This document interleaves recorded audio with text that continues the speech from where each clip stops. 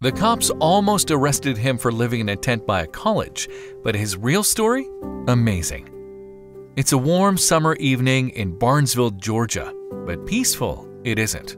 In fact, Fred Barley is about to be arrested for trespassing. That is, until the officers reprimanding him learn the astonishing truth behind his situation. A suspected trespassing was reported at the campus of Barnesville Gordon State College campus in early July 2016. The alleged perpetrator had pitched a tent on campus grounds, and so when the police arrived, they demanded that the person come out of their tent with their hands raised. Also, if you have not done so already, please subscribe to our channel and click that notification bell to get inspired by these real life stories every day. Now, back to the story. When 19 year old Fred Barley emerged from the tent, however, the officer soon realized that all was not as it seemed. Because as they listened to the teenager's story, their perspectives completely changed. Barley hails from Conyers, a city on the other side of Georgia in Rockdale County. It's a full hour's drive between there and Barnesville, but it had taken Barley much longer to reach his destination. A second year student at Gordon State College, Barley might just be one of the most determined young people you're likely to come across. He's majoring in biology and eventually wants to go on to study medicine and become a doctor. To get that far, however, he has to first make it through college. Part of that process involves registering for his classes for second year, so he had to travel all the way from Conyers to Barnesville. Again, that might not sound like such a monumental feat. After all, it's only around 50 miles between the two cities. Unfortunately for Barley, however, his only available mode of transport was a child's bicycle. So, inevitably, that one hour drive turned into a six hour cycle astride his little brother's bike. I didn't have a ride here. My little brother handed me a bike. And in the extreme summer heat of the American South, the journey seems all the more impressive. Incredibly, Barley carried all his worldly possessions with him, which he was able to do using just two duffel bags. He'd taken two gallons of water to keep himself hydrated, but the only food he had on his person was a box of cereal. Once he'd made the perilous journey, however, Barley needed somewhere to stay.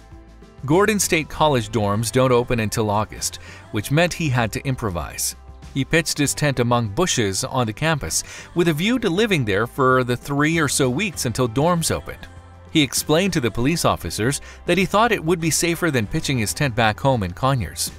So when the cops arrived after he was reported for trespassing, I was scared. I'm thinking I'm going to jail. Barley probably thought that his plan had failed. But rather than arresting him, the officers decided to give him the benefit of the doubt and listen to his story. Consequently, once they realized what was going on, the officers were so impressed by Barley's determination that they wanted to help the young man out.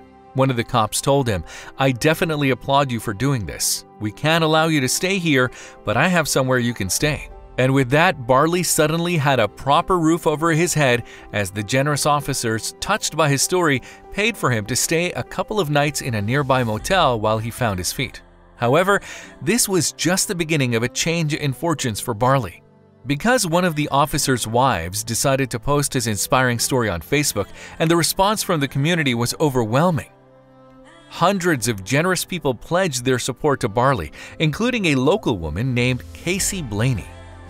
Between them, Blaney and the motel's owner covered the cost of Barley's accommodation until he was able to move into the college's dorms. I think I literally had to ask him three times, What can I do to help you? He made it clear repeatedly that he just wanted to do this on his own.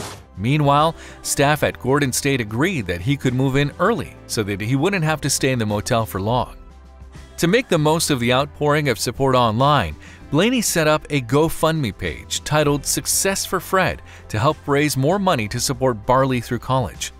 In just eight days, the page smashed its $150,000 goal and raised almost $185,000, with donations pouring in from more than 5,700 people.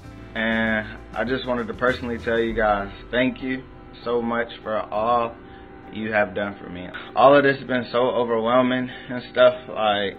But the outpouring of goodwill for the young man didn't stop there. After hearing about Barley's amazing story, local pizzeria owner Debbie Adamson decided to give him a job so he'd be able to pay his way through college.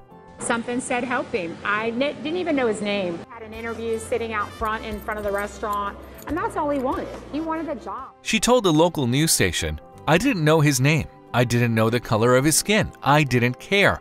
I've been there, so I guess I had a soft spot for anyone who is that determined to succeed in life. Meanwhile, not all donations have been financial. Barley has received school supplies, clothing, and a brand new bicycle, but there's one gift that has stood out for the 19 year old. He explained, Some of the gifts aren't as important as the friends I've made. More important than everything, the clothes, the shoes, the relationships mean so much more to me. Every single thing, the prayers, the food, the money, the every the bikes, like the prayers, like I said, I thank God every day. Barley's story is more than just an inspiring tale of a community coming together to help someone in need. It's also a vital lesson to never judge a book by its cover. Barley may have been trespassing that night, but his inspiring story certainly pitched a tent in the hearts of the people of Barnesville. If you liked the video, please give it a thumbs up and consider sharing it with someone who may find it interesting. Thanks for watching, and I'll talk to you in the next one.